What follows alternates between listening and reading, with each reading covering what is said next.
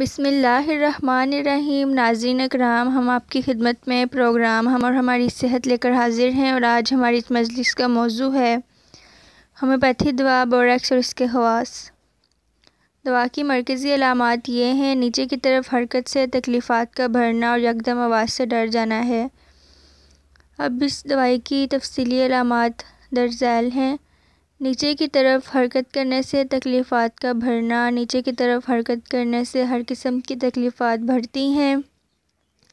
یہ علامت بچوں میں عموماً دیکھنے میں آتی ہے، جبکہ نیچے چارپائی پر لٹاتے وقت وہ خوب چیختے چلاتے ہیں اور ڈر کے مارے ماں یا نرس کو چمٹنے کی کوشش کرتے ہیں۔ سیڑھیوں سے نیچے اترنا، ہوائی جہاز کا نیچے اترنا، کشتی کا اوپر اٹھنے کے بعد نیچے اترنا، لفٹ سے نیچے اترنا، وغیرہ وغیرہ۔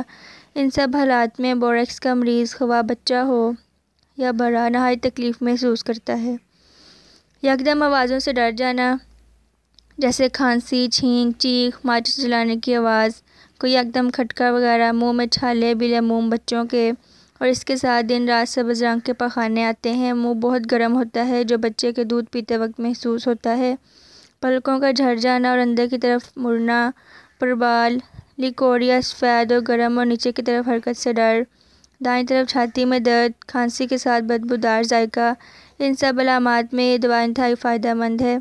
اب تک کے لیے اتنا ہی۔ آئندہ آپ کی خدمت میں حاضر ہوں گے۔ اللہ حافظ۔